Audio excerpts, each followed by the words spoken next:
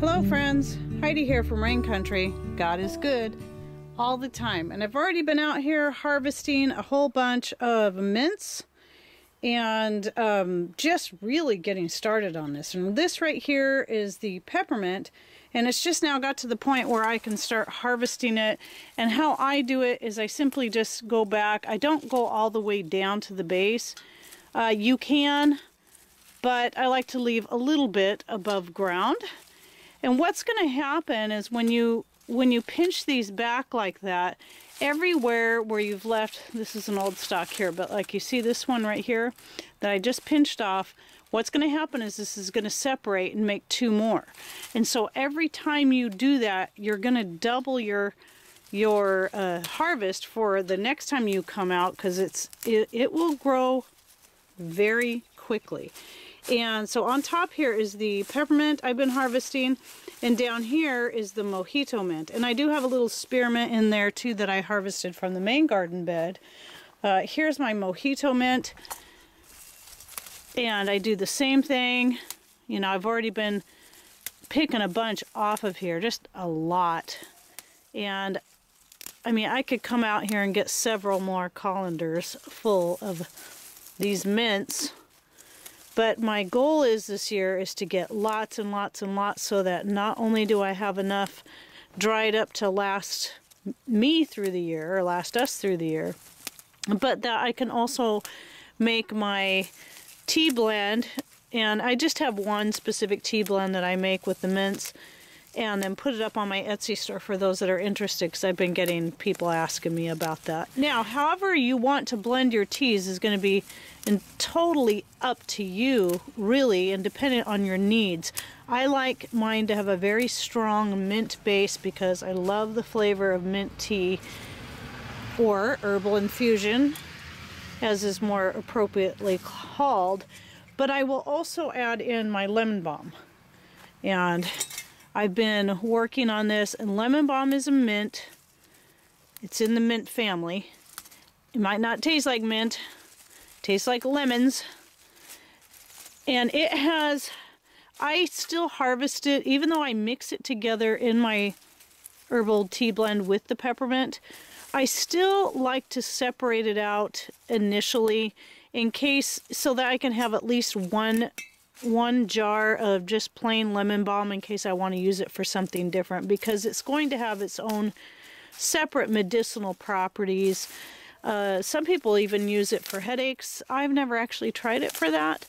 As I've never actually tried it for anything specifically medicinal because I just I just think it's one of those herbs that's good to have and just kind of, you know, have it on a regular basis along with the peppermint. So that's all I'm going to do on the mints. I will probably come back out here and harvest some more. I've been working on the woolly lamb's ear because that's another thing. I love woolly lamb's ear tea. I will also blend some of it in with my main tea blend, but sometimes I do like to make tea with just woolly lamb's ear or woolly lamb's ear with, you know, maybe a couple of spices. Like During this time of the year, I almost always make my teas out of fresh herbs while I have them. And so taking like woolly lamb's ear and marshmallow and pansy makes a really nice herbal infusion. And um, yeah so I, I like to do a lot of those different kinds of things. So I'll go ahead and grab a couple of these and lay them on top of my lemon balm. So anyway my goal is this year to get a lot more. Now if you're interested in the medicinal benefits of woolly lamb's ear, I'll go ahead and link to the video I did last year up in the corner there so you can see that. And that was just before I started drinking it as a tea. All right, well I'm back in the kitchen and I'm ready to start dehydrating up these herbs. Later in the day I'll go out and pick some fresh herbs for making my tea for tonight. Because as I said while I was out there picking, this time of the year as the herbs are coming in fresh, I make all of my herbal infusions with fresh herbs while I have them because they're just, they have a much better flavor. But I also like to have a bunch of dehydrated herbs to last me through the whole year. Now, before I get on to this and how I wash my herbs, I want to talk a little bit about dandelion. Now, one of my favorite tea blends I'm finding is involves dandelion flower. And I did do one the other day and it was dandelion, primrose, and cayenne pepper and it was really good. I just, it was a, not the flavor I expected, but I still really liked it. Now some people have been asking me how I keep my dandelions from turning into puffballs once once they dehydrate them. They might pick them up. You might pick your dandelions, put them on your dehydrating trays, and then when you go to check on them later, they've gone to seed. I've had that happen a few times, and I really think there's a couple of things, and I don't, this is just based on my own experience. I have found it best, and I do this now with all of my herbs, to spray them down with my own homemade vinegar. I'll use any any of them that I have in my spray bottle, which is usually going to be like a floral vinegar or, you know, an herb-based vinegar. And, and I just kind of work it through the herbs, let it sit on there for a few minutes, and then rinse them off with cool water. That's all I do to wash them. And I only do that really because, you know, some of my herbs, I don't, in the dandelions, you know, there are dogs that sometimes run loose and I don't know what they're out there peeing on and, you know, there's bugs and different things that get on that and it just, it just helps. I don't believe in overwashing your herbs though because I think you can remove a lot of the good stuff, the oils and stuff that are on the surface of the leaves and the flowers and I think those are really important to keep. But I also find that spraying your herbs down with some vinegar first and letting it sit or even soaking it like Stacy does in a blend of vinegar and water seems to also help preserve the color which would make me think if it's preserving the color better then it's also preserving a lot of the nutrients better by doing that.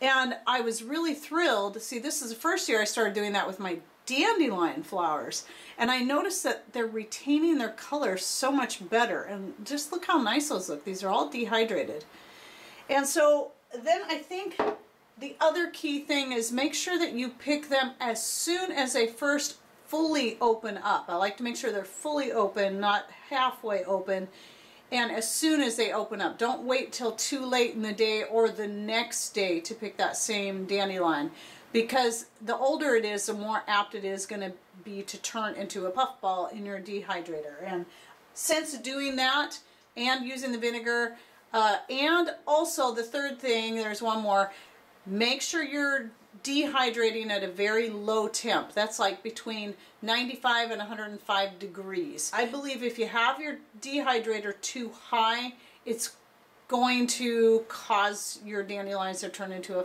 puffball. And also too high, you're just going to lose some of your nutrients out of your herbs if you dehydrate things on too hot of a heat.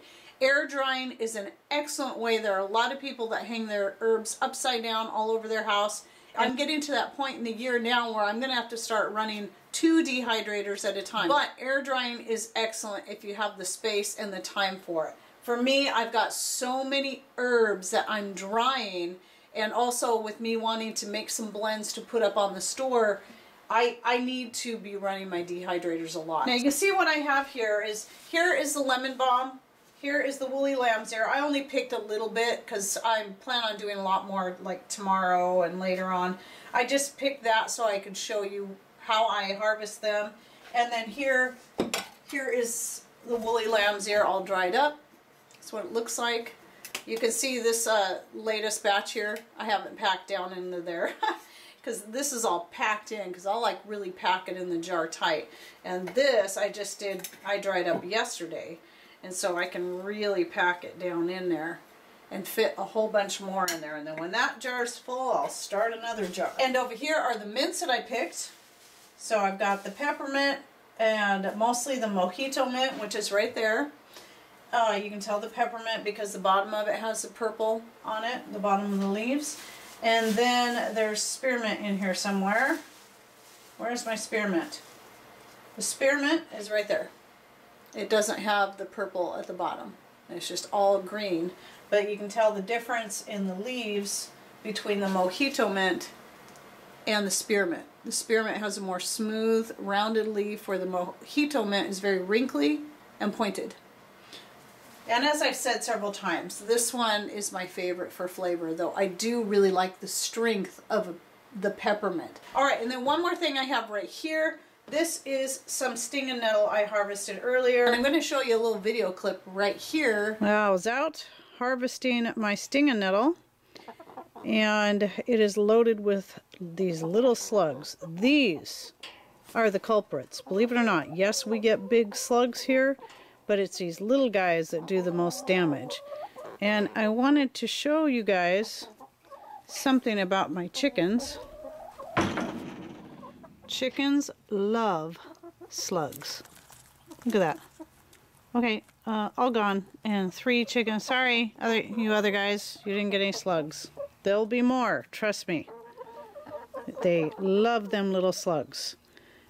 And some people say their chickens don't eat slugs, and I notice these guys, when they get too big, they don't really care for them, but most of the issues I have are with them little ones, and I just feed them to the chickens and they gobble them right down.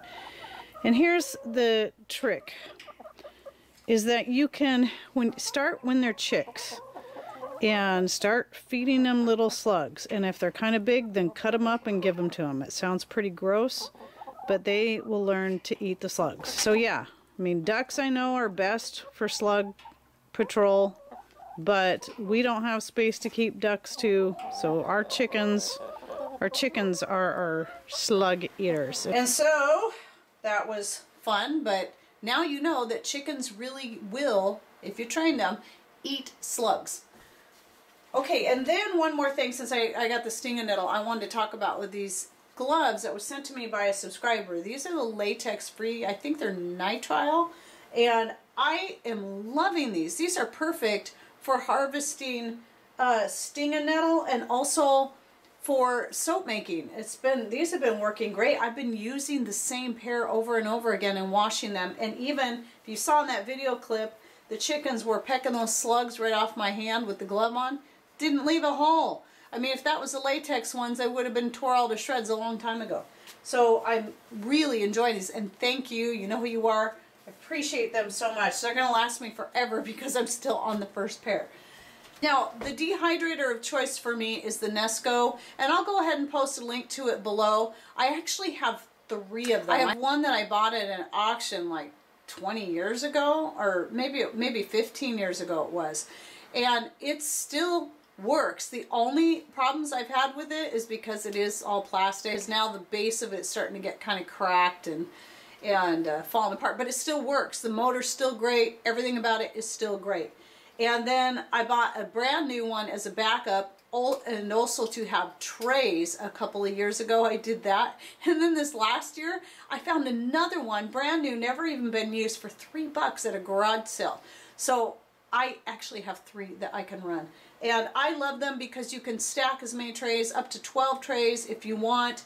Um, though you do need to rotate them to get a good uh, drying or at least keep removing the top tray as the things get dry.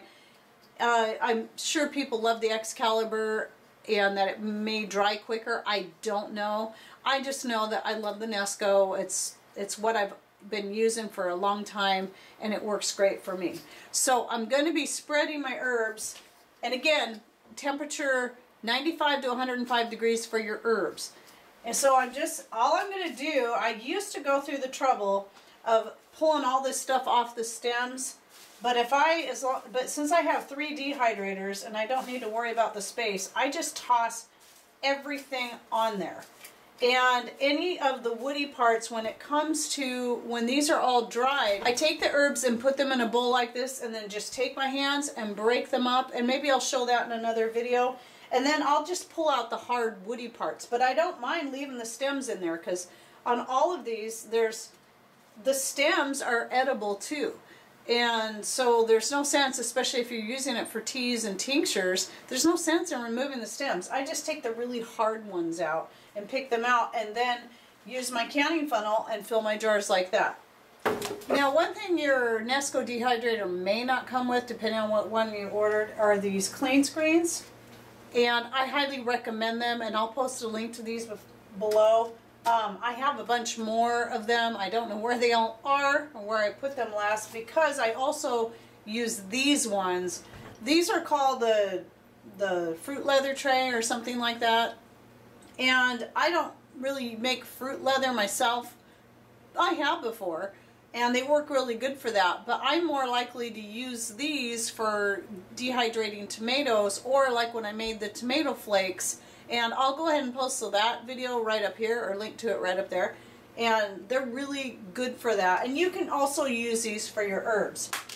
Now the clean screens do a couple of things is they help make the holes smaller so if you got little tiny things like lavender leaves or rosemary leaves that you're dehydrating, you don't have to worry about them falling through. But these are also good for that. I just prefer the screen because it's going to allow a little more airflow for a faster dehydrating time. So I'm putting on the last of my lemon balm over here and then the little bit of woolly lamb's ear that I picked. And then I'll do another tray of just the stinging nettle. So I'm going to go put these on my dehydrator. Okay, so I, these are some uh, dandelion leaves I was drying up yesterday. And before I went to bed last night, they still weren't fully dry. So I just left them in there. I don't like to leave my dehydrator running overnight since it's on solar power. I don't like to drain the batteries during the night. So I just turned it back on this morning and these are all very dry. Look at that, little wreath. So then I just put it in a bowl and then break them up just like that. And it works, that just works really great to do it that way. Just using my fingers, and again, any really woody parts, especially in the dandelion leaves, or anything that's going to go on my mixed greens blend.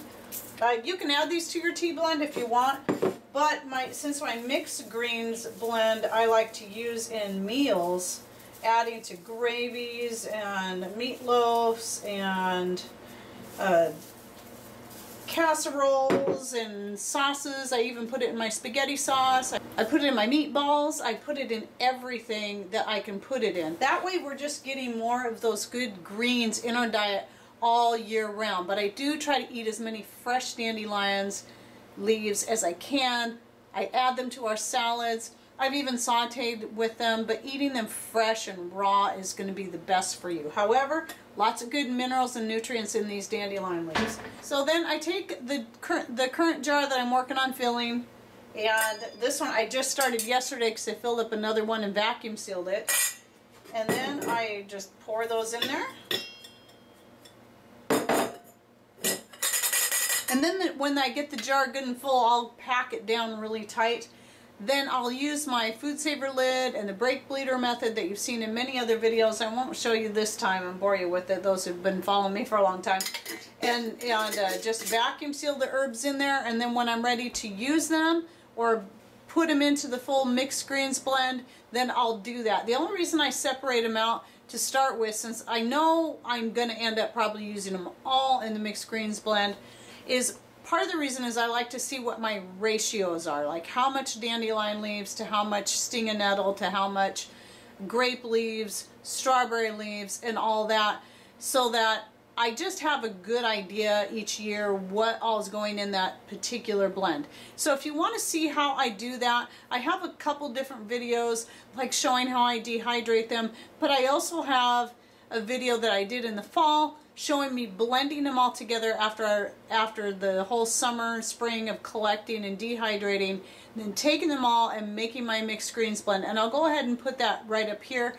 So you can see how I do that and also see what all I had in this in last year's blend. This year's could be different. The ratios could be different on how much nettle to grape leaves to strawberry leaves. It just depends on how much harvesting I can keep up on on each thing and how prolific each herb is going to grow for me. I'm guessing I won't get a whole lot of strawberry leaves this year because I thinned out my strawberries quite a bit but I do need to get busy and start harvesting some leaves here real soon. Okay, well I hope you enjoyed this video on my on harvesting and drying herbs for teas and there's a lot more coming because I have a lot more herbs that I like to use in my teas and also again more herbs I'll be talking about their medicinal benefits in future videos.